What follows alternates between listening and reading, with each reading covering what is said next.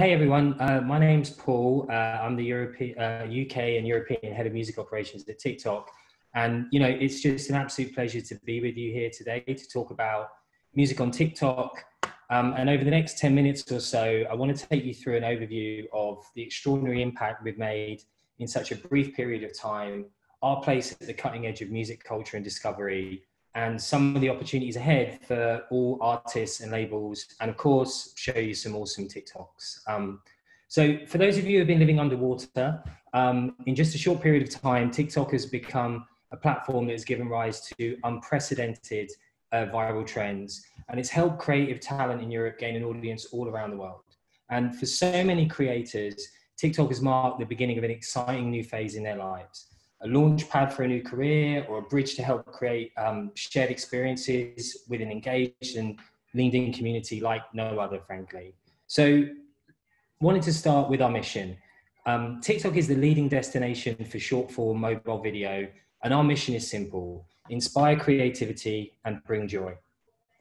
And, you know, TikTok enables everyone to be a creator and encourages users to share their passion and creative expression through their video. It's about allowing users and artists to show their real self and offering an unparalleled opportunity for creative expression. And we do this in several ways. You know, firstly, we provide an incredibly easy to use, inventive and fun way to add sounds and music and visual effects to videos shot right on your phone. And it's also easy, quick, and intuitive to bring those ideas to creative life. And secondly, we recommend videos to you based on what rather than, rather than just who you like. And that means that anyone or any idea can go viral, even with even without a single follower. And you know, we're unique in that way, connecting fans and artists and providing a new route to communicate and creatively express yourself that's just become such an integral part of the music business right now. And you know, there's been a, a lot written about TikTok's impact on music. And really, the most simple way to understand this is to point to our latest ad campaign, that just quite sim- quite simply summarizes this incredible moment. And that is it starts on TikTok. And so when we think of the role TikTok plays in the music industry, it's really not hyperbole to say that our impact on music and music culture is prolific. And you know, let's start with user numbers. They're big. We announced just two weeks ago that we now have 100 million monthly active users in Europe.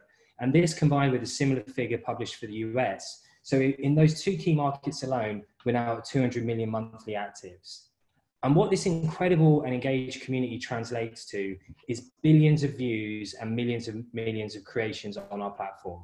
Like earlier this month, we published the top 10 summer songs on TikTok.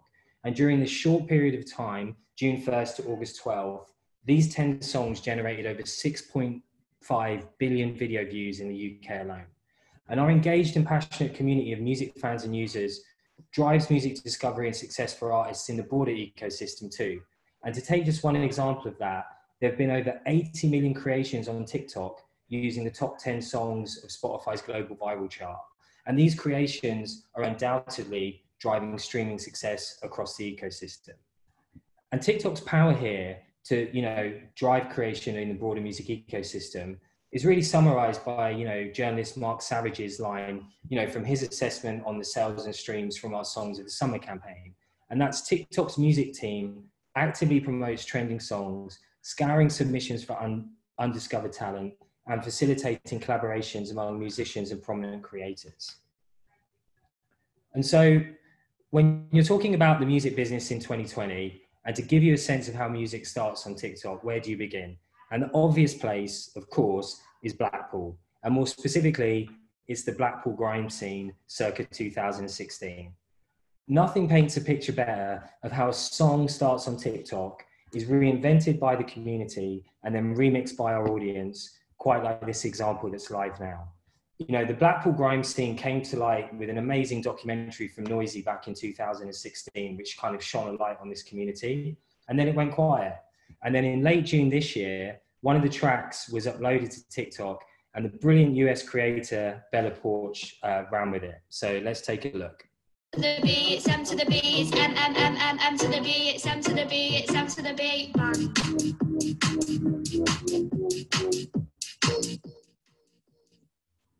Brilliant. I love it. And so to say it took off is an understatement. That one video has become one of the most watched on TikTok and the tune one of the most used in the platform's history. Bella's following grew by approximately 2.2 million, and at last check, we're almost at 6 million individual creations for that song, M to the B. And you know, the audience loved it, and we even got whole classes on Zoom joining in. If you would have read your syllabus, you would have known. SMC, it's M to the B, it's M to the B, it's M, M, M, M, M to the B, it's M to the B, it's M to the B. Wait, what are y'all doing with your heads?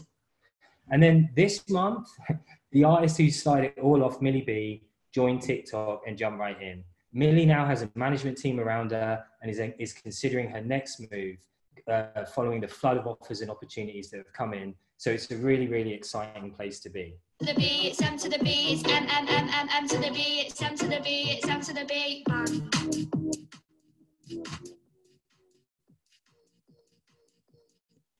So really, in that case, it's like from Blackpool to the world, it really, really did start on TikTok. Um, in terms of more music discovery, TikTok users are also discovering incredible new music and incredible new artists every day. One of the couple of the examples I wanted to show you. Firstly, one is is an incredible artist called Kat Burns, a super super talented songwriter from South London, and she's built a fan base with us, sharing her music, replying to fans with original sounds and video, and really taking that two-way fan and artist engagement to a new level. And if you spend any time with, on Kat's profile on TikTok, you'll see why. I got invited to a party in Sykes Street, and they asked me if I could come along. I've always wondered what I'm like when it stress me. What if I let them see me in a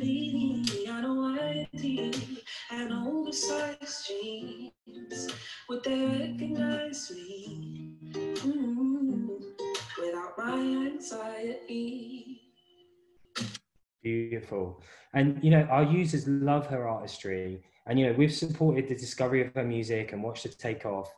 And Kat now appears in our latest marketing campaign and has been featured in some amazing publications like The Face and is in talks with label partners. You know, it's most definitely started on TikTok for Kat, and we're just super thrilled for everything that's to come. Jumping across the pond, another artist I wanted to point out was a fantastic artist called Jake, who's been building his presence and identity as an artist using TikTok.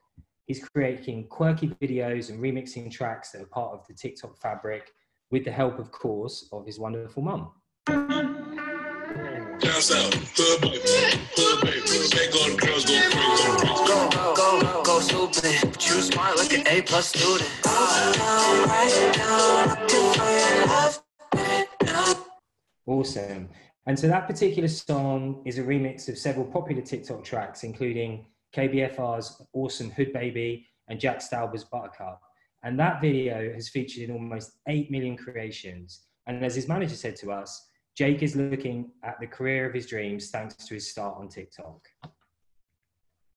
Our team here in Europe consistently push the boundaries as to how we can continually delight our users. You know, we work with artists, labels, and the wider industry to help bring this creativity to life on the platform, celebrating different genres and helping them find audiences around the world. At any given time, we're partnering closely with the music industry to explore new ways of creativity that help connect music artists with fans on TikTok. Over the summer, using our awesome live feature, we paired artists Ellie Goulding, Anne-Marie, and Mr. Eazi with TikTok creators Holly H, Mr. Tove, and Love Island's Luke Trotman to give users a unique glimpse into the creative process for both a music artist and a TikTok creator. Uh, UK Rap also has a massive fan base on TikTok. Working with um, Mixtape Madness, we created the TikTok Freestyle Challenge with artists and users showing off their rap freestyle skills and posting a 30 second to one minute video rapping over an instrumental beat. So many amazing artists jumped on, on this, including Tiny, Dizzy, Chris Cash, to name a few. And they made the most of TikTok's interactive filters and duet function to show off some freestyle bat- bat- battles in action. And then the last expression I wanted to point to was really need the artists need no introduction.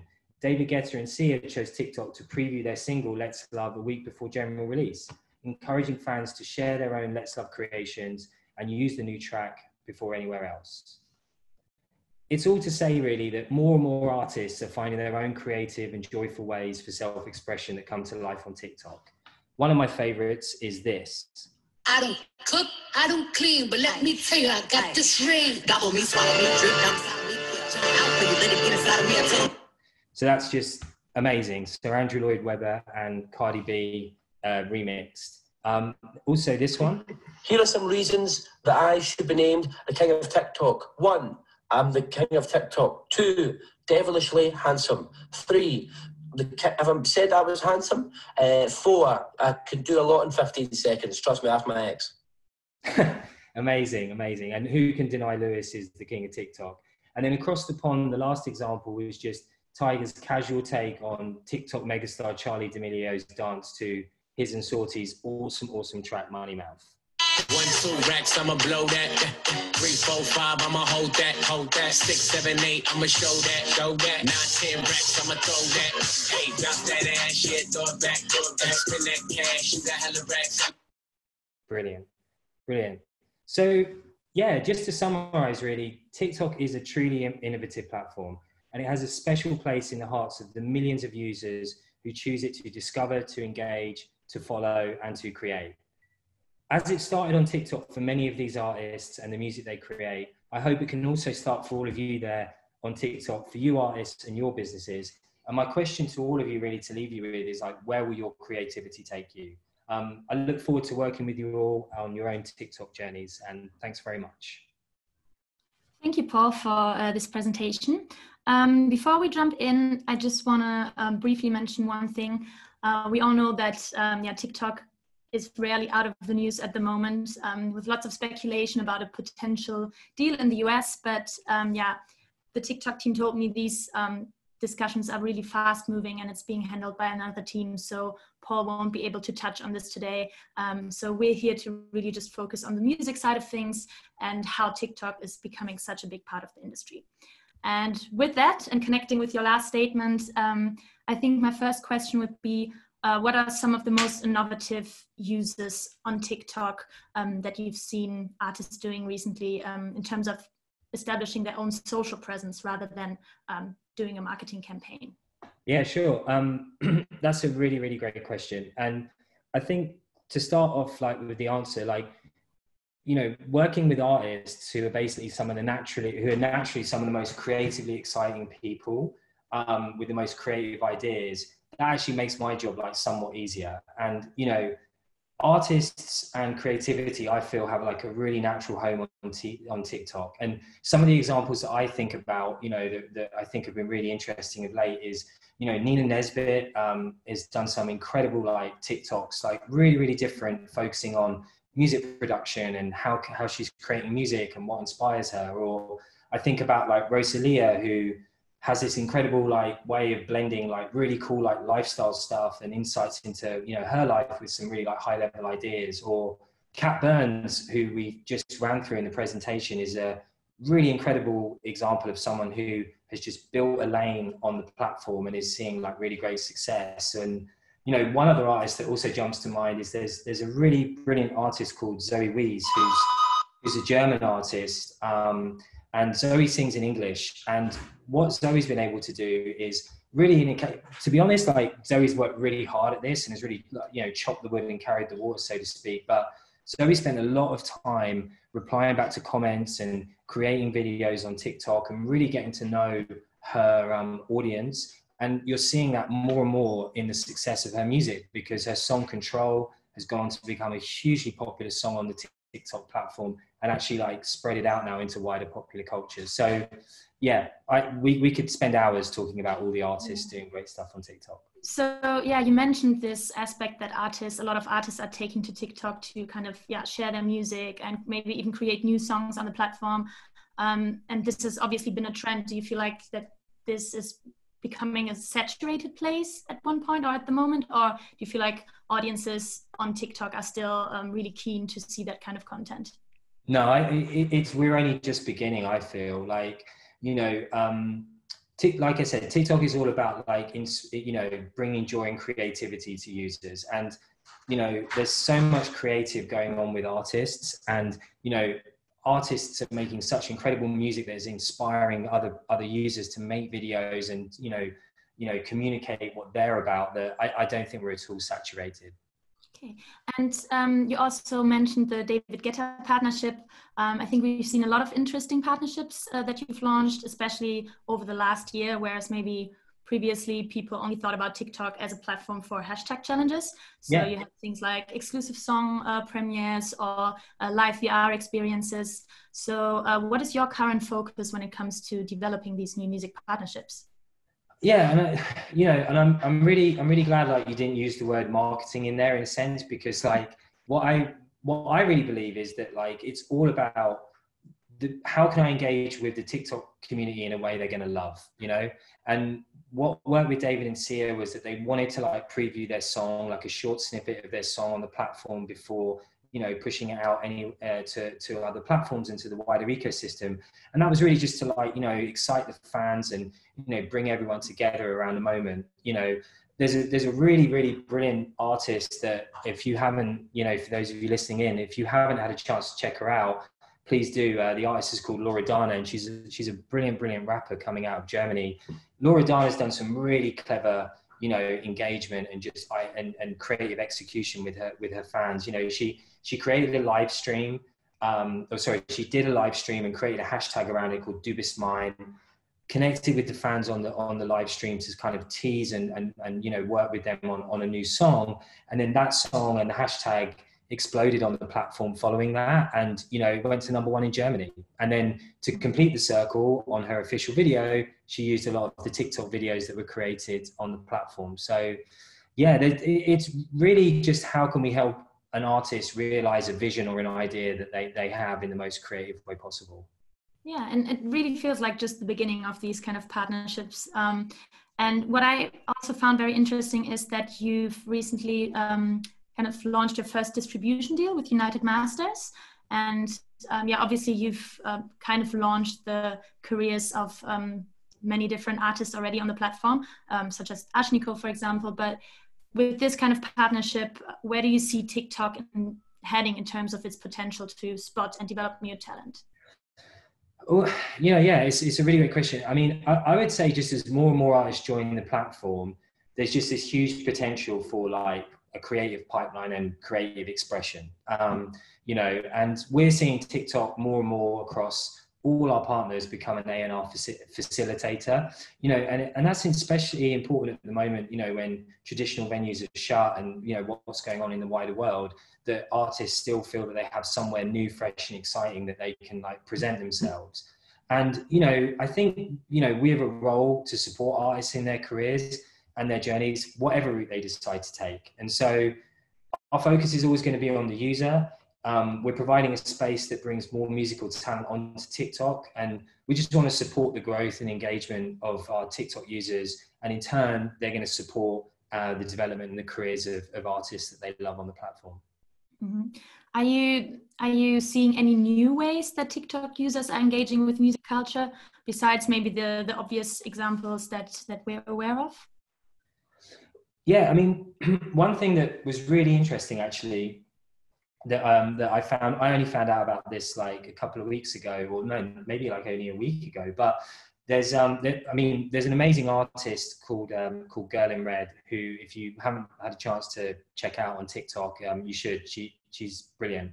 And um, what I found out a week ago was that um, there's actually um, now a kind of common sort of phrase that's you know kind of saturated, you know has got into culture which is um, do you listen to girl in red? And that what that phrase actually means which it, which originated on tiktok was do you listen to girl in red? It's a way of asking someone in a very kind of like um, sensitive and discreet way like what your sexuality is. And so that to me is kind of incredible that our users have you know you know really like resonate you know really kind of taken to to girl in red and you know the amazing artist that she is and then you know remixing that into a way that you know has become popular in in common language um that's pretty incredible Yeah, that's that's true. It's really cool. Um, I actually didn't know about that. I have to look it up. Um, so one last question, because then we have to wrap up. Um, comparatively, TikTok is still quite a new platform compared to other digital platforms. Um, and you have developed quite a lot, as I said. Um, we have read news about things like that the TikTok team would wish that TikTok creations will count towards the charts one day, and also some rumors about if it could potentially be um, a place where users can consume official music videos at one point in the future. How do you envision the TikTok of the future in maybe two to five years' time? You know, I, I, I really think it's all about being true to who we are, which is, you know, inspire creativity and bring joy. And you know, I think I think what's the most important thing for us, aside any other measurement, is do our users come on the platform? Do they feel inspired? Do they see creatively excellent, excellent pieces of you know video and TikToks? And does that resonate with them? And do they want to find out more about the about the artists and the creators that that make that and, and the incredible music? So, in terms of like the question around the charts, I think it's just a question that has to be addressed, I suppose, because it's such a cultural phenomenon tiktok and its impact as we saw in the presentation is so prolific that it's definitely a discussion i think that's worth having and you know where where i see tiktok in you know one to two years time from now is like you know first of all we wouldn't be able to do this without the incredible music and the incredible artists and all the incredible people that we get to work with on a daily basis and you know we have a really passionate and inspired music team at TikTok. You know, we have some brilliant, brilliant people working with us um, in the company. And, you know, we just want to be able to do the most amazing, interesting things with artists and help them realize their dreams. So, whichever way that goes in the future will be driven by what our users want and how how creative and you know how far do the artists want to push their creativity. Okay, thanks so much. Thank you. Thank you, everybody.